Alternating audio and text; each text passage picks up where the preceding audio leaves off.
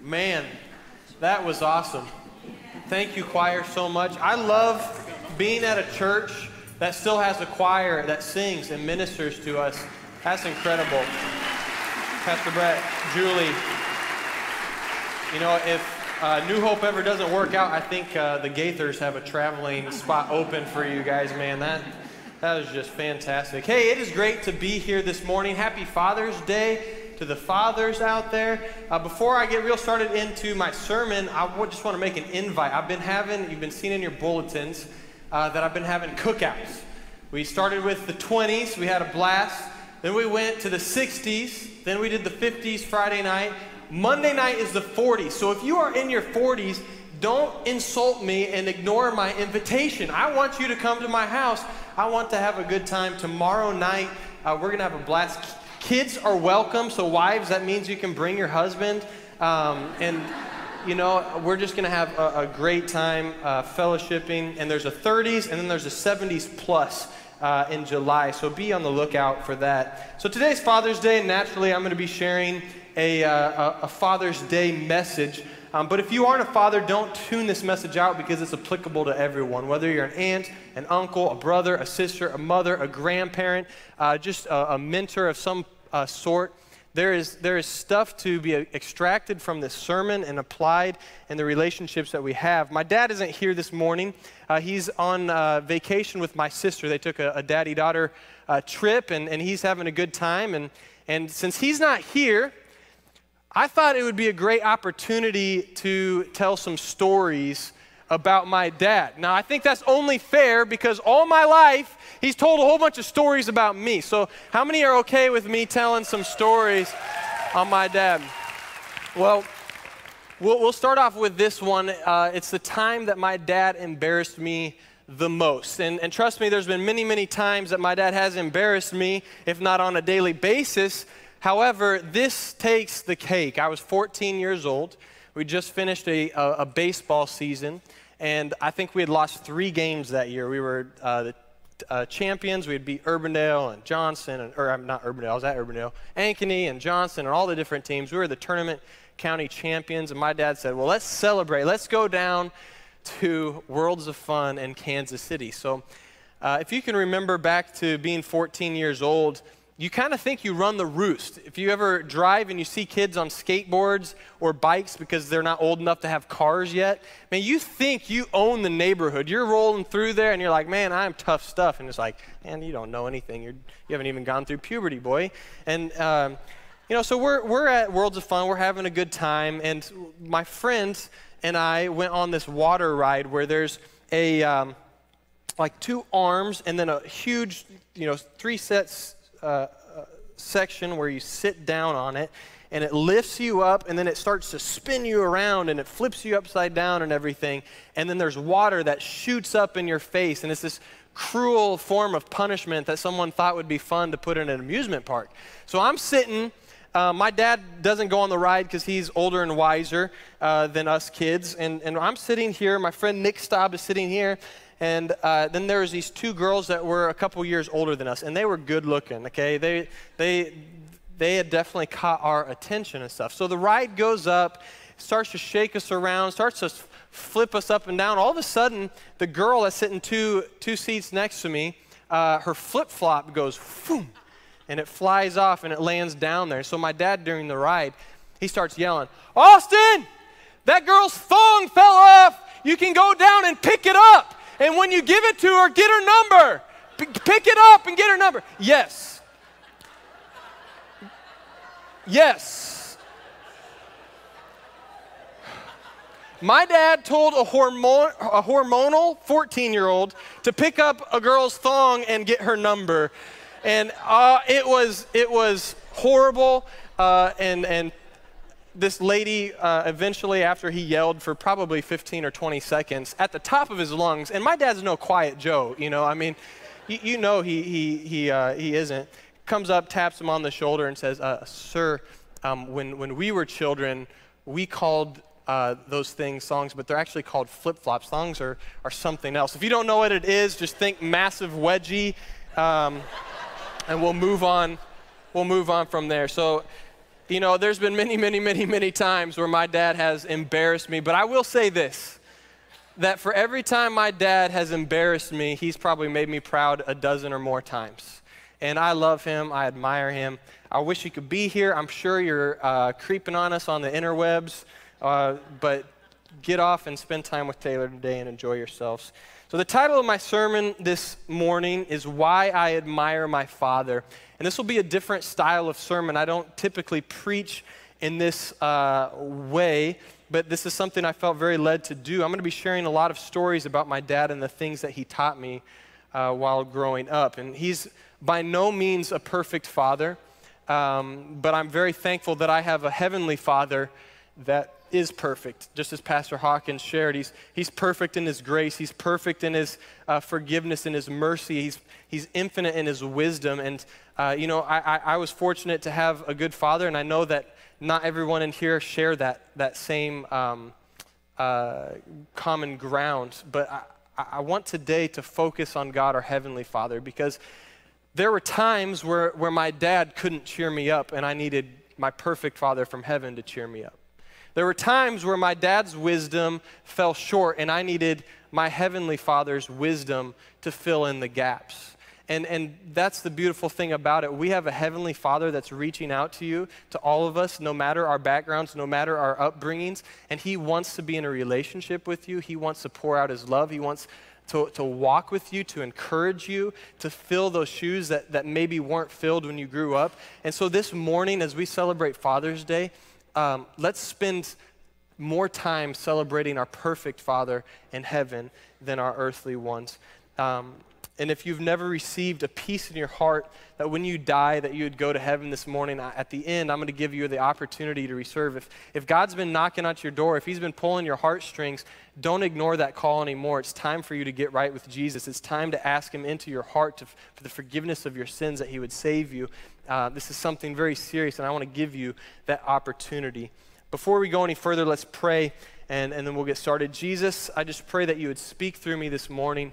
Uh, God, that, that you would say anything and everything that you would want, and, and just quicken this word by your Holy Spirit, and uh, just allow us to, to focus on you this morning, our good and perfect Father. In Jesus' name we pray, and everybody said, Amen, amen. So I, my dad and I have some great memories together, um, a, a, lot of a lot of memories together. But you know, some of my most meaningful memories were actually the day in and the day out, mundane memories with my dad. And and my dad chose to drive us kids to school every day. Now consider yourself lucky because you come on Sunday and you get preached at for 30 minutes once a week. Dad had the car rides to try out all of his jokes on us, to uh, pour out his wisdom and, and speak to us. And that five minute car ride um, between here and, or from my house to the school ended up being essentially like a, a, practicing preaching moments. And there are five minutes of just pouring in his wisdom and speaking to us kids. And, um, uh, you know, in, in middle school, I, I remember there was two things that that uh, he would always talk about. He'd say, Austin, if you don't watch yourself, if you aren't careful, you'll start speaking just like a sailor. There's, there's kids that are using inappropriate language, and when you're at school, Austin, you need to think when I hear a bad word, I identify it and say, Weavers don't speak that way. Christians don't speak that way. You need to identify that as a sin and, and, and mentally check that off so you don't uh, talk that way. In Austin, eventually someone's going to pull something out and place it in front of you. There's going to be pornography, there's going to be a magazine. This happens all the time to kids in middle school. In Austin, in that moment, you need to decide right now what you're going to do. Has anybody pulled that out? Has anybody tried to show you? No, Dad, you told me that yesterday and the day before that, and I'd get annoyed and I'd show the attitude and I would, I would push him away. You know, and, and while I was very annoyed um, as a kid, I, I, was very, very thankful uh, that, that he continued to teach me and, and to, to push me in that.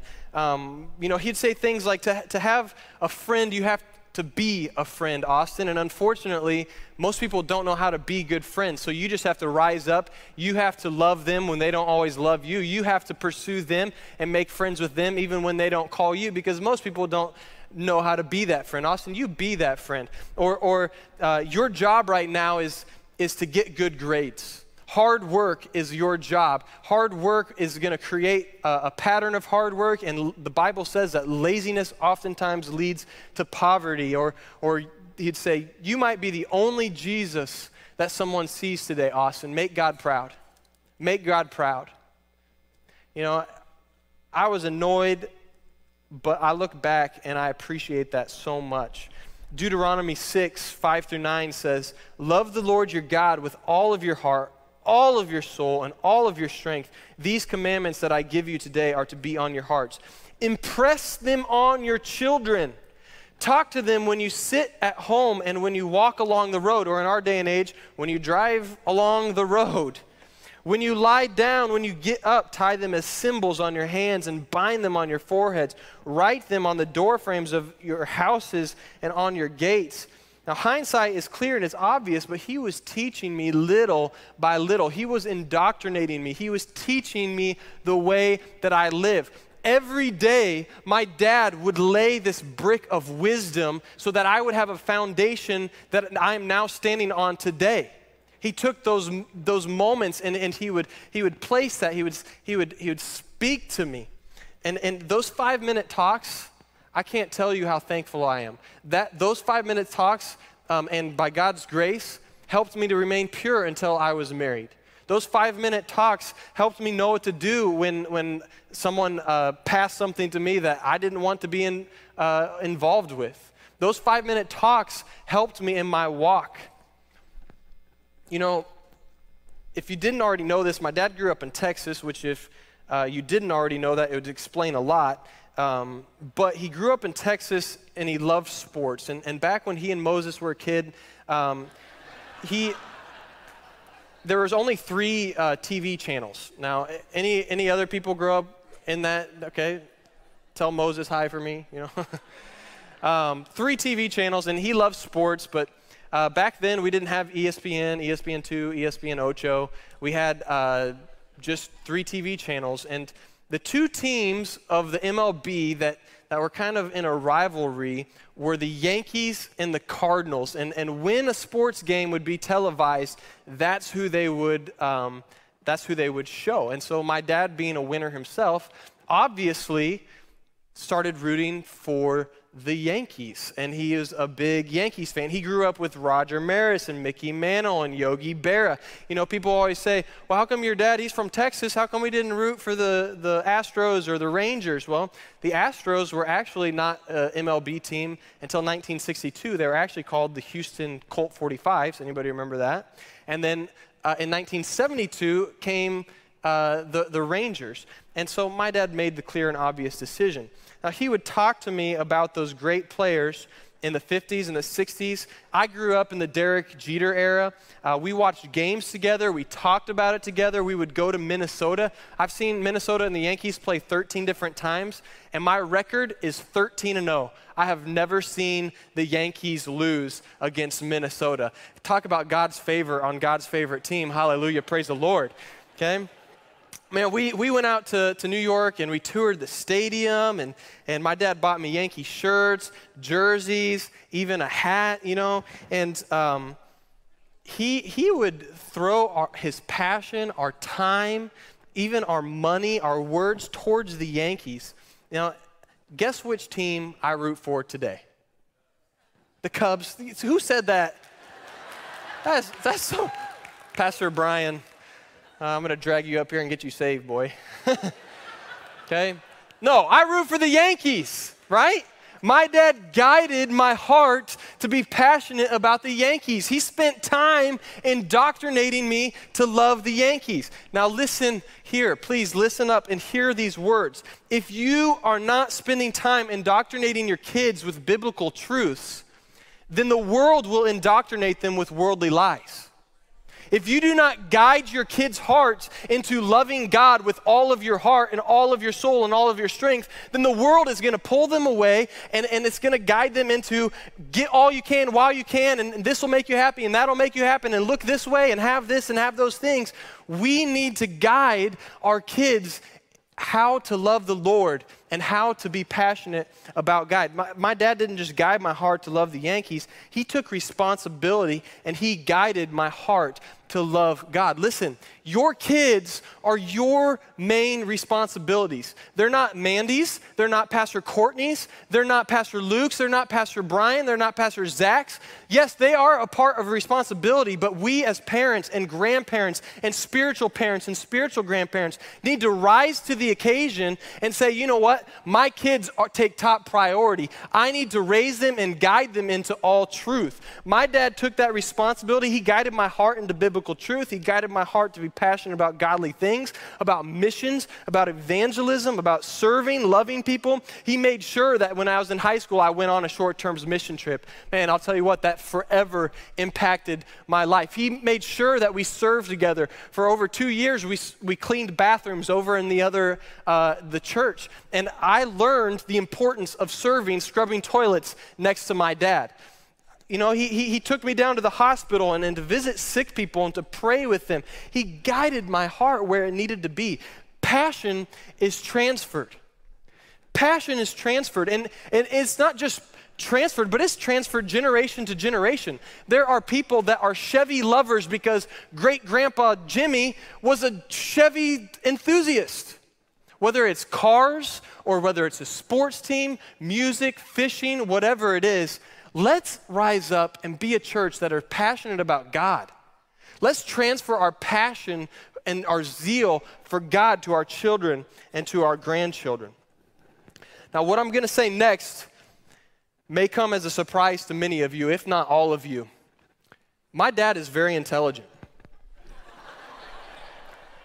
he, he did a lot of things uh, that I would have never known he did unless he would have told me so that I could do the same thing for, for my kids. For instance, uh, anytime a, a kid from school, or most times a kid from school, would come and say, Hey, Austin, why don't you spend the night? And I'd go to dad and say, Hey, dad, can I spend the night at Jimmy's house? He would say, Well, how about, how about you uh, invite Jimmy over to our house. I'll take you guys out and we'll go bowling beforehand. Does that sound like fun? Or, or let's go to the iCubs game, or let's get pizza, or let's go swimming, or let's do something. You know, back then I was like, sweet, the, the, the pot has been sweetened. You know, heat up the ante. And, and I thought, well, my dad just loves to have fun. You know, it's just kind of an excuse for uh, a, a male to, to resort to childhood, you know. Um, and I'm sure that's partly true. But what my dad was actually doing was he was controlling the environment in which I spent my time. My dad didn't let me spend time at just anybody's house because he didn't know what would be watched on TV. He didn't know if there would be a liquor cabinet left unlocked. He didn't know if the kid had found his dad's porn stash and was going to put that on me.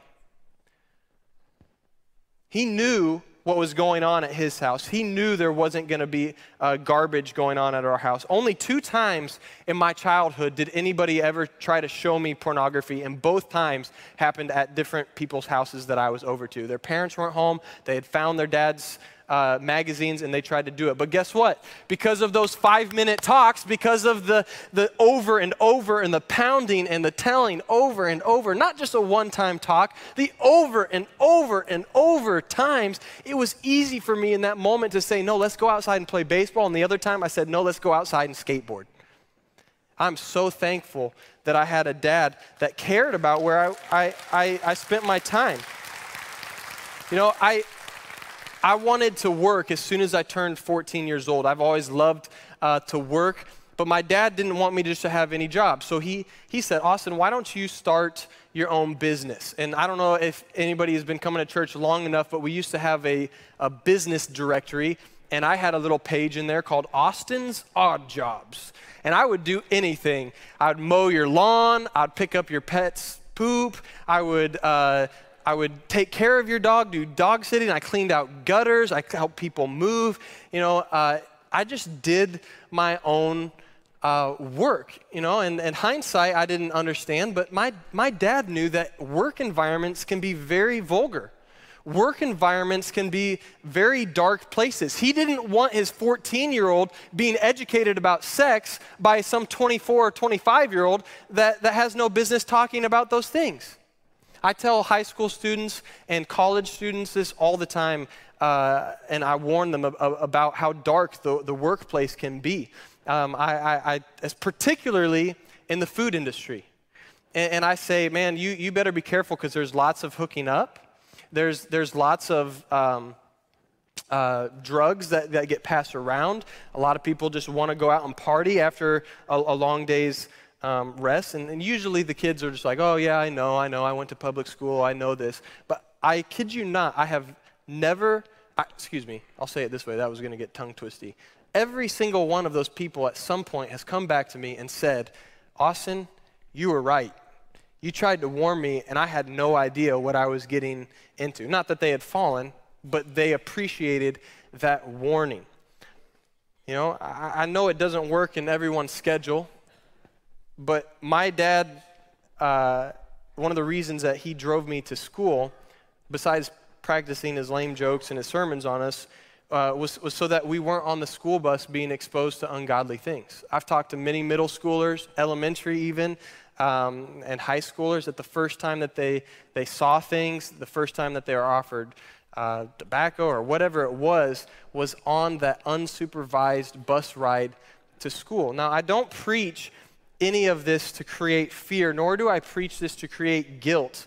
Uh, eventually, your kids have to face the real word, world and stand for themselves. We can't completely shelter our kids from everything because someday we won't be able to. But it's our job as parents to set up our kids for success in their faith. And I find it very wise, hear me, I find it very wise to limit the number of opportunities for your kids to get ensnared in something. That doesn't mean we lock them in their rooms until they're 30, even though that's what I'm doing with Paisley, because I don't want any boy touching her, looking at her, or talking to her, or anything else. But you, as parents, we, we need to be aware of, of where our kids are spending time and what they're spending time doing. Ask yourself this do you know what your kids are being exposed to? Do you know what your kids are being exposed to in your own house? It's easier to bury your head in the sand and remain ignorant Technology is scary, it's difficult to understand, but your kids need to be educated by you, not by social media, not by a, a dirty TV show at a neighbor's house, not by your neighborhood kids. We, we, we need that.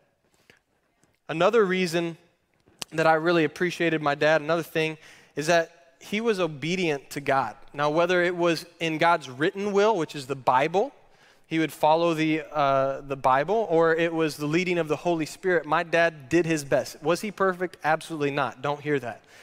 Um, but he did his best to obey uh, the Lord. John uh, 14 says, you know, if you love me, Jesus says this, you'll obey my commandments.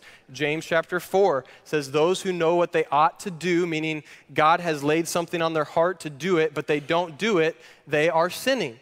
And so my, my dad raised me, he taught me that. And I, have I've been with him many, many times where all of a sudden he pulls a Yui and I'm thinking, what are we doing? We're going this way. And it's like, I need to, I need to go back and talk to this person. I need to do this. But one of the earliest times that I actually remember that happening, I was probably five years old. We're back at Merle Hay Mall, uh, back when they had the fountain and the creepy naked statue, statue man with the wings. Um, you guys know what I'm talking about? Merle Hay's. All the people that aren't from Des Moines, they're like, what? Right? Um, and we're walking down one of those ramps, and we get down, starts to level out, and there's this group of, of teenagers. Now, I, I to judge, but they look kind of rebellious. They look kind of like mall rats. They, they look like they're up, uh, not, not to really anything good. And we walk by and we go by the um, fountain. We go by the naked angel man. I cover my eyes. Um, I go back up the, the uh, ramp, and I, we get about almost to the top. Um, and I, I, remember, you know, running my hand across the red brick there, you know, and holding dad's hand in the other. And he stops. He goes, Austin, I feel like we need to go talk to those teenagers. And we turn around, we walk down, shield my eyes again, go across the, the, um, the pool. We go up to these kids, and my dad, being the shy introvert that he is, uh, mustered up the confidence to start talking to them. And, and, you know, I don't know what was said in that. You could kind of see them kind of taken back, but then they warmed up. And I'm sure he did the Christian thing, invited them to church and everything. But in that moment, I was so young, but I still remember it so clear that my dad yielded to the Holy Spirit. He obeyed. He risked looking like a crazy to do something because God had laid that on his heart.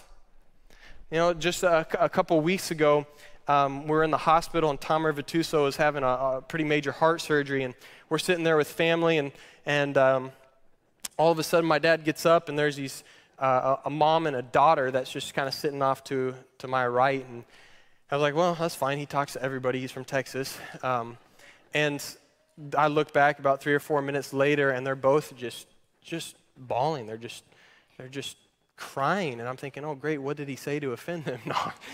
And, uh, you know, in, in, that moment, my dad was just to encourage them and tell them and remind them of God's love for them and that he's watching out. And, you know, I don't know who was in surgery at that time, but they needed that. And my dad yielded to that. I remember one time uh, my dad feeling led to give a large sum of money to missions. And I'm not talking just uh, a, a large, you know, thing. I mean, it was a big chunk of money and, and, and he did it. He talked with my mom and they made it work and, and they, they cut back on things and they made sacrifices and they reallocated and they stopped saving and they did all these different things to be obedient to the Holy Spirit. Now, I'm so thankful that my dad talked to me about his finances. I'm so thankful that he showed me what he gave. He didn't do that so that I would look at him and say, oh, my dad's the best dad in the whole world.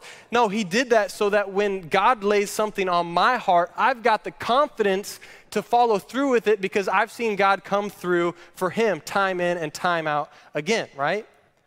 I've, I've seen when my dad turns around and he talks to those people, and I've seen the fruitful conversations. I've seen the times where he's, he's been obedient in those uh, times of giving.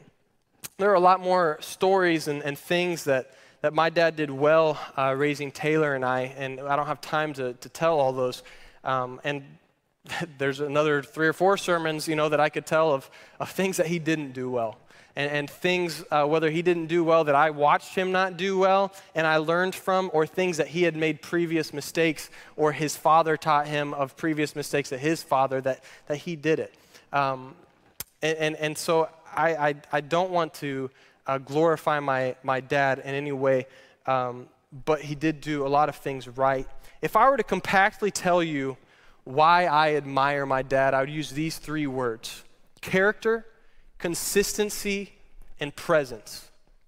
Character, consistency, and presence. My dad, uh, he's definitely not perfect in his character, he has flaws, but he earnestly and hardly works to um, diligently improve and, and work on his character his whole life he opens rebuke. He doesn't get defensive most of the time. Um, you know, I, I didn't just have a dad that told me how to act. Do as I say, not as I do, dad. I had a dad that showed me by his character. He showed me how to be generous. He showed me how to live godly. He demonstrated how to act by his character. Hear me, fathers, your character matters. Your character doesn't matter, it also matters to be consistent. My dad's character was consistent. What you saw and what you see on Sundays is what you get Monday through Saturday. You know, he didn't just love the Lord with, with all his might and soul and strength on Sundays. He loved God and did his best to abide by his word and follow the Holy Spirit day in and day out. Dads, step up and be consistent. It matters. Be consistent in your discipline, be consistent in your expectations with your kids. That's unfair. Be consistent in your character. Be consistent in the amount of time you spend with them. One Saturday a month of undivided attention doesn't go nearly as far as one or two hours a night having undivided attention where you can be involved and not play catch up for the past four weeks of, of I've been too busy or this or that. Be consistent in everything character, consistency, and presence. And my dad was there for me. I remember one time I was in fourth grade, uh, and my dad, I don't know if he was just bored or uh, having a rough day, I don't know why, but he pulled me out of class towards the end of the day, a couple hours left. I'm sorry, school teachers, I'm sure that frustrates you. And he just wanted to play catch with his son. And I just, you know, it's moments like that where where my dad wanted to spend time with me. Man, that's the greatest gift. Your presence as a father, as a parent, is the greatest thing that you can give your child. If I had a dollar every time I went to a funeral and I heard someone say, Oh, what I would do just to have one more cup of coffee with mom. Oh, what I would do just to play one more round of golf with dad. Oh, what I would do just to have one more dinner or one more day with my parents. Pastor Zach says this to the middle schoolers all the time. He says, Show me your friends, and I'll show you your future. Essentially, show me the people you spend time with, and I'll show you how you're going to turn out. Guess what? If you spend time with your kids, they're going to turn out to be a lot like you. Now, some of you are thinking, Lord, please don't let them turn out to be anything like me. You know, and in some sense, I understand that. I want my kid to be better than me. I, I, want the, the foundation that my dad laid for me, and then I want to lay a foundation for my son. And, and I, I don't want them to struggle with things and, and to learn the same mistakes over and over. I want my kids to be better. I understand that. You know, one, one of the things that's very concerning as a pastor is we live in a day and age where we're fathers, we're parents, we're families, we're just America. We're, we're living like Timothy says. We're lovers of pleasure more than leisure, lovers of God. I'll tell you, it drives me nuts. It drives me nuts when people say, well, Sunday nights are family night. You know, bring them to church and pray together. If you're having church at your house with your family, great. I'm all for it. I'm great. But I'll tell you what, watching your favorite Netflix with your family versus getting in the presence of God and praying for one another and getting real with one another, there's spiritual merit in one and there's not much merit in the other. I, I, I, pray that all of you fathers this morning, if I were to ask you, is your character good? Are you consistent in your character? Do you spend time with your kids? I, I, my prayer is that all of you would say yes, without hesitation. Yes, I have good character. Yes, I am consistent. Yes, I do spend time with them.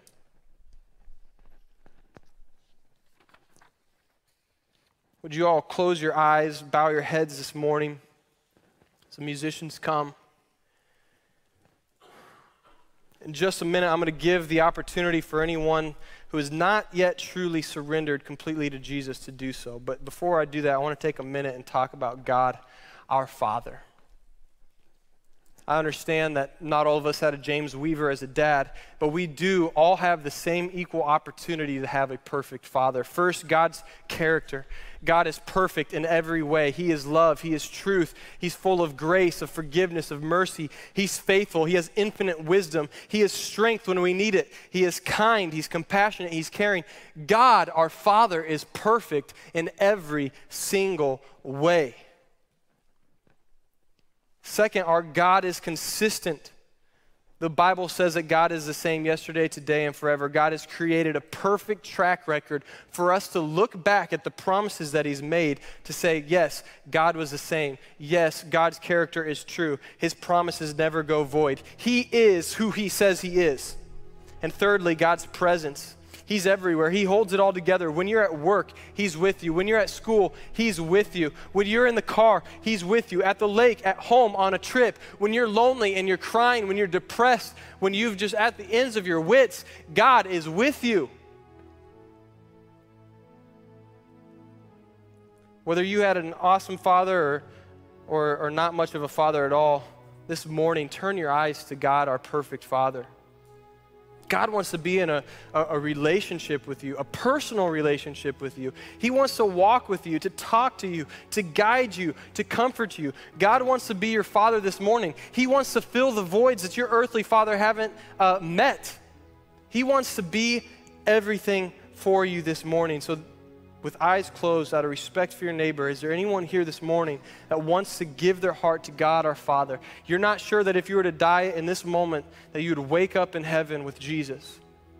Is there anyone here that wants to repent of their sins, ask Jesus to forgive them, to cleanse them, to save them of their soul? Would you raise your hand right now so I can pray for you? Yes. Yes, I see you. Yes. Yes, I see you in the back. Jesus, you see all these hands, Lord, and I just pray right now that this would not um, just be a, a moment uh, a conversion moment, but this would be a, a, change of direction for these people's lives moment. That, that you would fill them with your Holy Spirit. You would cleanse them and wash their sins white as snow. That you would set their feet in paths of righteousness, God. Minister to them by your grace and your mercy. Would they understand who you are, the perfect, omnipotent, all powerful, all knowing uh, uh, God that you are? And I just pray that you would redirect them, save them, and, and, and give them purpose and meaning continued with eyes closed and heads bowed, I want to ask if there's any fathers that, that need to step up your game. You want your kids to admire your passion for God. You want to transfer that passion. You may need to create more discipline in your, your family devotions. You may need to start having intentional five minute talks with them. You may need to start treating your wife the way that she deserves and, and the way that, that your kids need to see it, whatever that might be. If you're here this morning and, and you'd say, I need to work on my character, I need to be more consistent, I need to be more present, would you raise your hand just saying, Austin, by God's help, I want to become a better father? Yes, there's hands all over. Who else? Yes. Yes, yes. Jesus, right now in this moment, I pray your Holy Spirit would empower every one of these men. I thank you for the humility. It's not easy to say that we need work, God, but I pray that this would not just be a, a moment of admittance, of, of, of, admitting something that, that we see a lack need, but this would be a, a moment of power where your Holy Spirit enters us and, and enables us to do and the things that you do to love and to forgive and to be there and to comfort and, and to exhort and uphold our families, Jesus. God, help us be more like you in everything we say and everything we do.